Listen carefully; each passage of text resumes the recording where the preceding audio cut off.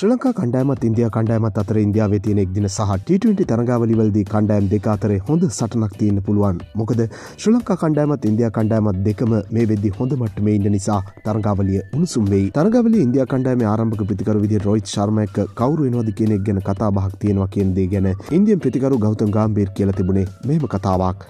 ශ්‍ර ලංකාවක ගහන ආරම්භක ප්‍රතිකරු ගැන කතා බහක් ඇතිවෙන්න දෙයක් නැහැ. රොයිත් ශර්මයක ඉශාන් කිෂන් තමයි ආරම්භක ප්‍රතිකරු විදියට එන්න ඕනා. බංගලදේශ කණ්ඩායම එක්ක තමන් සෙල්ලම් කළ අවසන් එක්දින තරගේ ලකුණු දෙසියක් ගහපු කෙනාට වැඩිය සුදුස්සෙක්කින්නවද. මොකද ඒ සෙල්ලම් කළෙත් ඒ තරම් ලේසි තනතිල්ලක නෙවෙයි.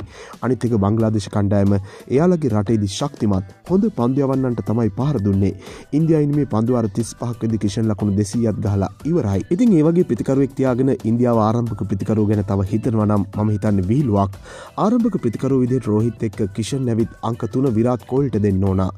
මහිතන්නේ එක්දින තරගොල් අංක හතර සූරි කුමාර්ට දෙන්න ඕන. මහිතන්න අංක පහතැන්ට හොඳම කෙන තමයි අයර්. ශා ශෛරගේ පහුගේ කාලේ දක්ෂතා බලද්දි ගොඩක් ඉහල තැනක තියෙනවා. අංකහය හදිකින්න නිසා කණ්ඩෑම ගොඩක් සමබර කරගන්න පුළුවන්. කොහොමනත් ගාම්බීර් කියන්නේ ඉන්දියාවේ ප්‍රතිකරු කෙටි පන්දු ගැන හිතන්න වේ කියලා. අපි ප්‍රතිකරු පසුගේ කාලෙ බලද්දි වේග පන්දයවන්නන්ගේ කෙටි පන්දුවලට හොඳට සෙල්ලම් කරලා නැහැ. ඒ ගැන ගොඩක් හිතන්න වෙයි. මොකද එතන අපි හදාගන්න ඕන තැනක්. කේල් රාහුල්ට කණ්ඩායමේ තැනක් ලැබෙන එකක් නැහැ කියලා තමයි ගම්බීර් කියන්නේ. මම හිතන්නේ කිෂන් ආරම්භක ප්‍රතිකරු වගේම කඩළු රකින්න වෙන්න නිසා රාහුල්ට එතන ලැබෙන එකක් නැහැ. සූරයා ඉන්න නිසා අංක හතර ගැන හිතන්නත් බැරිවෙයි එහමුණොත් රාහුල්ට ටිකක් බලා ඉන්න වෙයි.